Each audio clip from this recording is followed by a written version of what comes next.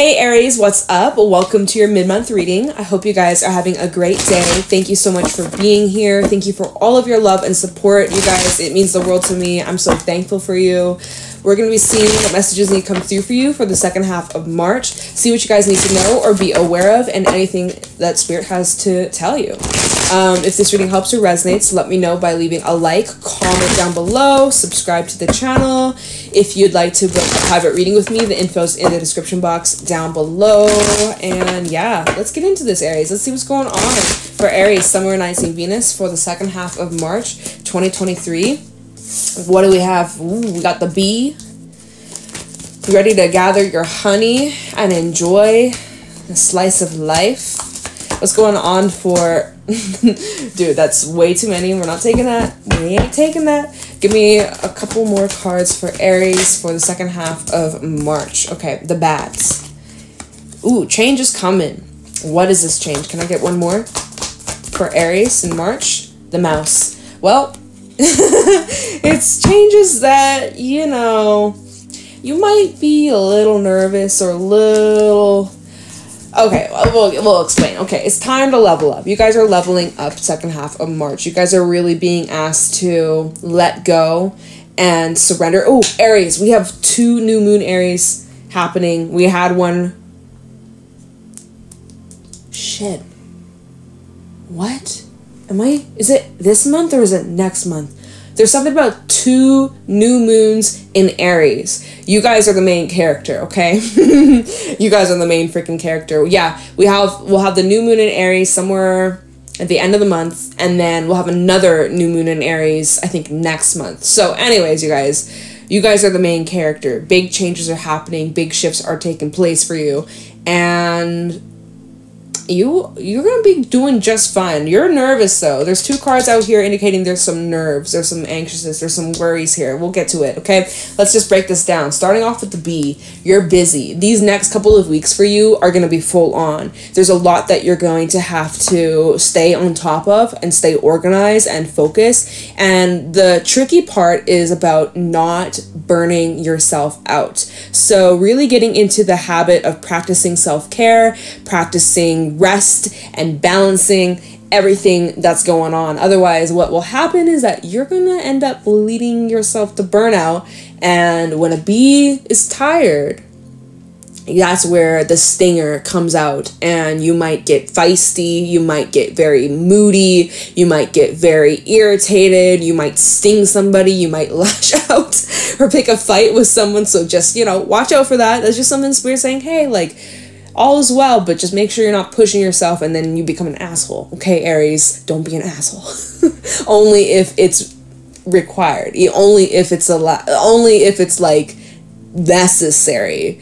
But that's like last resort, right? Bees when they sting, they then kill themselves, right? So you don't want to kill yourself, right? You want to say long, happy, healthy life, right? So if by any chance you have to put someone in their place or you have to pick a fight or you have to choose violence, please let that be the last resort, okay? as best as possible. But um yeah, you might be dealing with some work matters here. There might be some changes going on in your work. You might be making some sort of shift or change.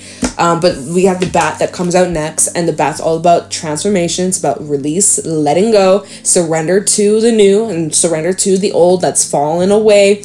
Um, full moon energy as well. So, what's the next full moon? We have the next full moon in Libra. I don't even know when that will be. Somewhere.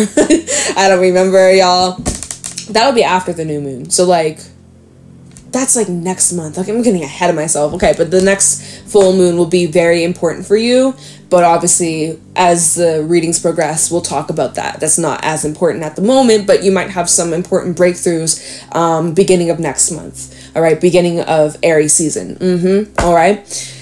Um, yeah, but back to what I was saying, there is something that about these changes, these shifts that are happening, you're feeling them. You're starting to feel it. You're starting to notice some changes going on internally, going on externally in your relationships, in your environments. and part of you is a little nervous you're like i just hope it all works out i just i, I just want to have a plan i just i want to make sure that it's all going to be okay you know you might be kind of hyper fixating on a couple little things or you know there's something on your mind that you can't seem to kind of shake off or get out of your out of your brain. You can't seem to shut your mind off. Um, the mouse definitely is someone who they're they're very like detail oriented. Actually, both the bee and the mouse both are very focused on like the details. So um, you might be really focusing on like every single tiny little thing that's going on. It's like the energy where you could get overwhelmed easily or just like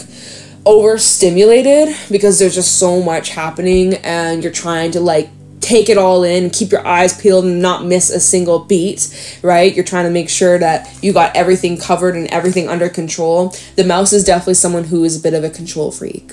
So you might be in more of like, I need to have control. I need to know what's going to happen. I need to have it all planned, all organized, all structured, and planned and mapped out, right? So I guess your advice, Spirit, is saying like, get a plan in motion, but be flexible when it comes to your plans because normally when a mouse in, in this case right in this deck when something comes out of nowhere or is a bit of a surprise that can be a bit of a surprising energy brings surprises surprising change the mouse doesn't know how to be flexible because the mouse is someone who's very like set in stone with like their ways or their um, like their plans and their structure. And so when something comes in, like completely just like bulldozes the structure that you had in mind or you set in place, it just it completely just throws you off coordinate, off charts, off the rails, and you're like, what the hell? So it's like there's something here. Like you definitely have a plan, figure out what you want, what you're what you're moving towards, but be flexible, okay? Because there might be little things that pop up that are redirecting you or shifting you in a different direction or shifting you to something better or it, it's taking you to what you want but it's just like an alternate route. And the mouse you initially might react and like oh my god this is this is the worst thing ever. This is terrible. But it's like just trust the process as best as you possibly can and try to just like surrender to what's out of your control. You know, if someone cancels plans, if some sort of thing falls through or something doesn't work out, trust that it's happening for your highest good. Trust that there's a reason behind it, that it's a blessing and that it's it's all going to be a fine in the end. But again, we have the rabbit at the bottom of the deck, which is a very anxious, restless, kind of fearful energy. Um so that's that's important that you need to pay attention to. The fears that pop up or the anxiousness that pops up or the, the moments where you start having these doubts or negative thoughts that's a very important time for you to reflect. Where is this coming from? Why do i feel this way? And then redirect. How can you shift your thoughts? How can you this is all like self study here with the crow. Also to pay attention to your intuition but it's hard to hear your intuition when your thoughts and your brain are just going all over the place. You can't hear your intuition. You need to quieten the mind. And so that's the energy of the swan. Kind of tying back in with the bee. It's like the swan and the bee are very similar. When they're out of balance, irritable, nippy, bitey, feisty, moody, you know, both these cards represent that. So it's just like if you're feeling any that any of that you would benefit from some alone time. You would benefit from some space. You need to chill. You need to self care, guys. Really up to self care and remind yourself it's going to be okay. And even though it doesn't look exactly like you had planned or mapped out, doesn't mean you're not going to get there. Doesn't mean it's it's all doomed. You're going to fail. None of that, right? But that's where your brain, that's where your fear kicks in. You start psyching yourself out. You start having all these doubts. When really, spirit is just wanting you to surrender, take a step back, lessen the grip of control, and have faith because it's all working out for you. Tarantula and the otter underneath that, are you kidding? It's all going to lead to your emotional satisfaction and happiness and freedom. And this is like your divine plan. Okay, the tarantula talks about like your dharma, your purpose, your soul's mission. And literally, Aries, you are here to be happy. Your soul's mission, it says you are meant to be happy. A path that you're on, even a crossroad, if you have any decisions to make, deep down you already know what you need to do. Deep down intuitively even oh my god the crow and then the lamb underneath that and the golden egg. Dude all these cards it's like do i even use the tarot in your oh my god and the black egg? Do i even bother using the tarot in your reading? Because this is just so the way the cards are just like wait where did the moth come from that was underneath the golden egg? Okay. I'm getting ahead of myself but like all these cards are just flowing perfectly together like i don't even know. Anyways um if you're at a crossroad deep down intuitively you already know what needs to be done or you'll know deep down you just need to follow your gut. You need to quiet the mind. You need to take some time to like disconnect from the world and tune in with what is the thing that makes you the happiest or what path is going to fulfill you the most or what is the most like empowering you know? But you have the answer within you. Or the answer the truth the clarity the guidance that you need is already within you. This is coming out so many times. Um Okay, and you're like, oh, but what if that's the wrong choice? Or what if not? What if this? What if that? Does the doubt. Ignore the doubt. Push through that doubt. Trust yourself. Trust your freaking self. Okay. Okay, now um, let's get into the tarot. Wow, animal animal cards just had a lot to say, a lot to tell you. Am I feeling this deck? Yeah. Okay, I am. All right, Aries. Let's get into this. What's going on for Aries, second half of March 2023? So there's some things that are coming up that you're maybe not able to prepare for. You don't foresee necessarily, but it's in your highest good. What's going on for Aries, second half of March? Deck is ready. Let's do this thing. What's going on for Aries? Thank you. Seven of Wands. Look at you. Caught off guard.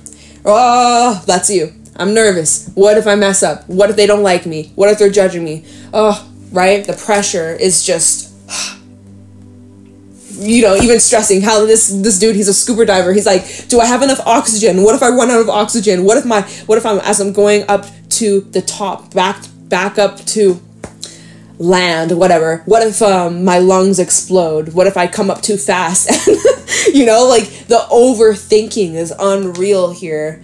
Um, feeling just like sticking out like a sore thumb or even feeling like there's a lot of attention on you.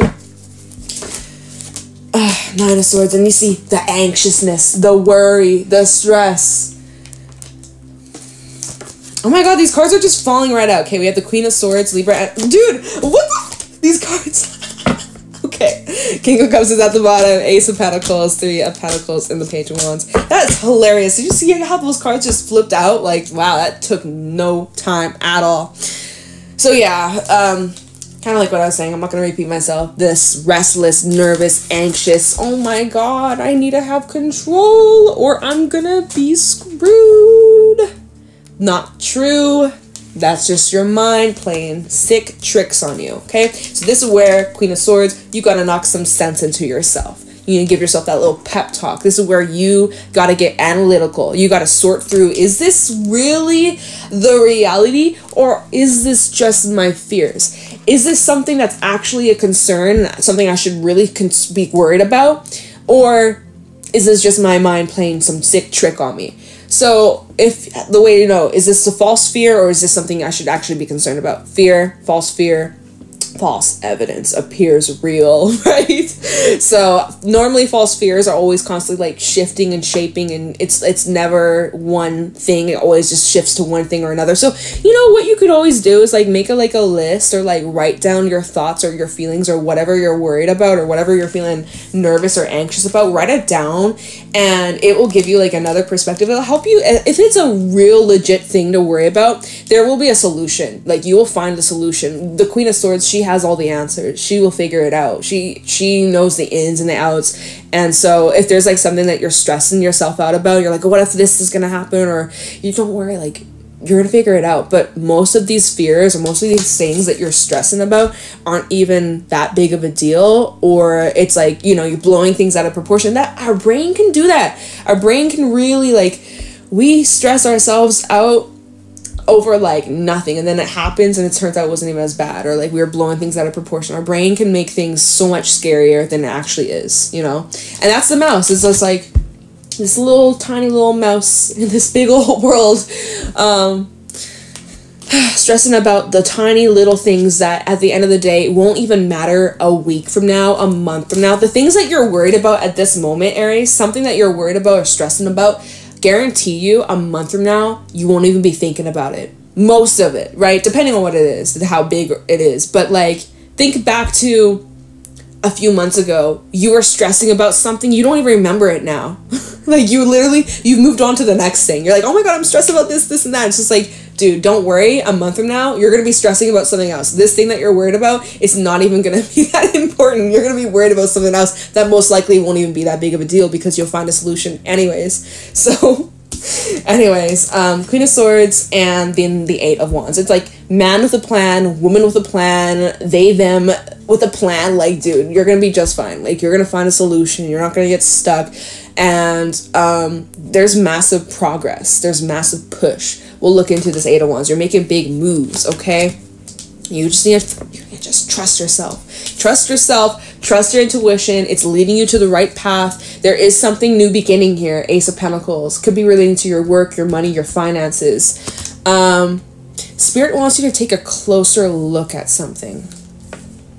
Or you're like you're analyzing something. Or you're like again it could just be like this super over stimulated mind thinking, thinking, thinking, like over analyzing something, right? Queen, or what am I saying? The, th- the three of wands with the ace of pentacles even how she's got the magnifying glass it's like you ever take jewelry oh, i actually haven't even done this but you take like jewelry and you find it on the street and you're like how much is this worth? You take the, the thing up close you're like i think it's real or is it real? What if it's fake? Is this worth something? What if it's not real? You're like that's even about this new opportunity coming in or like if this is like new job or it's a new passion or it's something that could be really amazing and life changing You're like is this real? What if it's not? I need to know. I need to figure this out. I need to like look closer at this um, i need to look at the fine print. And you know what? That would probably be a good thing. Do your research. That's for someone. Do your freaking research. Especially if you're investing money into this do your research. Um, look at all your options okay? But then we have the Page of Wands, and it's just like all is well, all is great. Page of Wands is normally very uplifting. It's a very positive frequency. It normally talks about good news, or it's like if you're waiting for an answer, the answer is normally yes with this card. Um, this can sometimes indicate like an invitation or some sort of communication coming in, or you know, hearing from an old friend, or can reconnecting here, even reconnecting to your passions, or just feeling really motivated, really driven, and not feeding into the fears and the worries or the doubts or any of that yucky kind of energy, okay? It's like I see that you are like you're not there's moments where you feed into it, but for the most part you got it under control. Okay, little control freak, you got it under control. All right? Um but the things that are outside of your control, spirit wants you to just surrender to that because the only thing you have control over is you, yourself, your emotions, where you put your effort in towards, you know. So just choose your battles carefully because not again, not everything is worth getting stung over or like stinging other people over. Like right? You only got one stinger. You got one stinger. Make it count. You don't want to just waste it on anything or anybody. Plus then your life's over. Game over. It's like don't do that. So obviously not literally but like even just a, I guess in a way it's like you got this one life. Are you really going to start stressing out about like the smallest little thing? You know sometimes they're silly. And you know what? Your fears are it's it's all good right? We all have our moments. It happens to us all. Me myself too like dude um am i using this deck. I don't feel that i'm uh no okay no i'm feeling the no. Hell to the no. Anyways you guys it's just like just keeping your thoughts and your fears in check right? We all experience anxiety and worries and stressful situations that pop up but just know you're gonna get through it and you always figure it out. You've always figured it out. Every single time you've run into a situation like this in the past, you're like, how am I going to figure this out? How am I going to work through this? How am I going to find a solution? Oh my God. But you worked through it magically. It all worked out for you. So just have faith that whatever comes up or whatever you're dealing with at the moment that's stressing you out, you're going to get through it. It's going to be a breeze. It's actually a lot smoother than you expect. All right. so don't worry too much. Or I hope that this reading just like kind of eases your nerves, okay? But anyways, let's look into this Eight of Wands. See what you're moving towards. Eight of Wands for Aries, Sun Moon Rising Venus. Why is the Eight of Wands here for Aries? Okay. So we have the Prince of Pentacles and the Chariot. All right, so smooth, smooth, slow, calculated, smooth and calculated action. Normally, Eight of Wands talks, it's like fast paced. It can also talk about multiple things that are occurring at once, multiple situations unfolding at once, multiple manifestations coming into and arriving into your life at once. It can feel overwhelming. Again, that's a vibe. I just got something in my. That's a vibe that's been showing up in your reading is like feeling overwhelmed or easily stressed out or overstimulated because there's just so many moving pieces and puzzles and ah, it's a lot, right? Just try your best to just take it one step at a time. You don't need to rush. You don't need to, you know, move at any pace that you're uncomfortable with. Spirit just says like move nice and slow. You don't need to rush into anything. You need you don't need to be impulsive. Okay, you're not gonna miss out on anything just move at the pace that feels most comfortable for you. But, you know, at a nice, slow, steady pace. Slow down. It's like you're in a school zone. Slow down. You don't need a rush. You don't need a race. It's all good in the hood.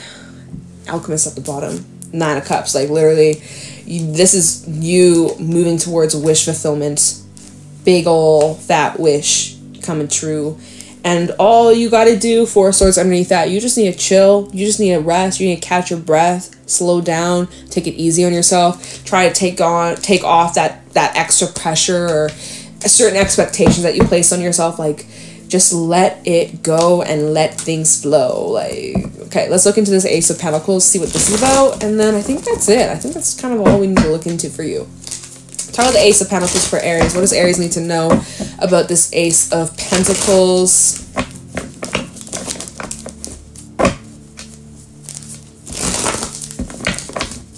Why is the Ace of Pentacles here for Aries?